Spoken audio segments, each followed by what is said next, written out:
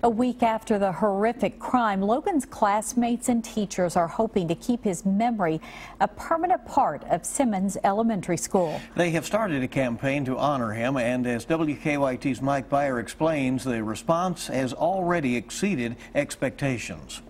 Simmons Elementary School, where six-year-old Logan Tipton attended, is collecting plastic bottle caps and lids so they can create a bench in his memory.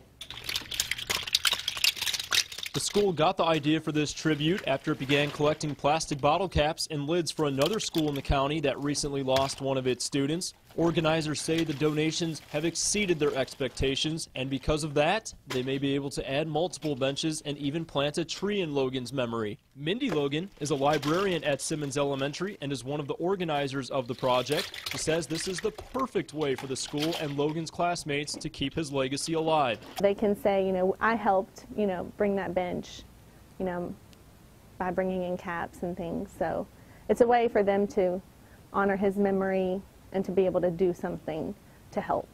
The school says they will be accepting plastic bottle caps and lids until the end of January, and they say they hope to have Logan's bench in place by springtime.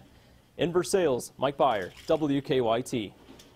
All right, Mike, thank you. And the school says plastic caps and lids can be dropped off at the main office. The school will pick up donations if they cannot be delivered.